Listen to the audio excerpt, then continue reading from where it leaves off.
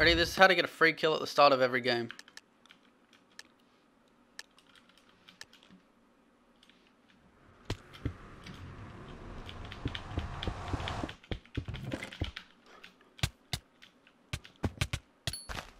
That's how.